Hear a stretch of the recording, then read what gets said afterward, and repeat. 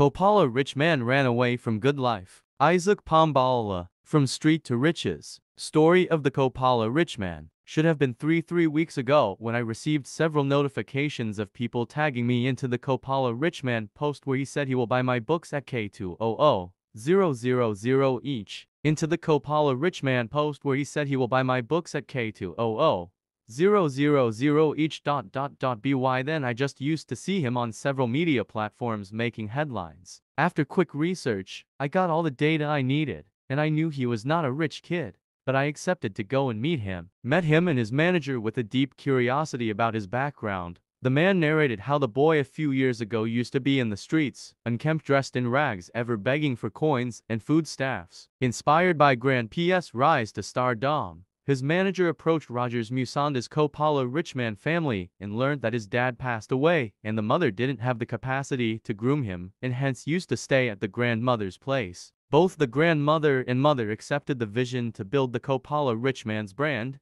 and that is how he was removed from the streets and permission to take care of him was granted. After several investments in him, the brand blew up and they had to relocate to Lusaka to push for more marketing deals. It became so real that only those who knew him from the streets could tell that he wasn't rich at all. Truth be told, his manager is a real branding genius because almost everyone thought this kid is rich even in real life. Everything has always been provided for him. The boy has many expensive suits, tailored for him. He is always moving in nice cars, met celebrities, politicians, and public figures he probably would have never met in his life. The manager gave him a free identity, and he was spending nights in a good house feasting on assorted foods Support of his own and choice. constant communication was ever ongoing to him and his family. The boy has never seen the walls of a classroom, and yet the qualified teacher to teach him was secured to be giving him private lessons. As the saying goes, you can take a person out of the street, but you can't take the street out of the person. He became so famous that he could not play and interact with others freely without attracting a crowd.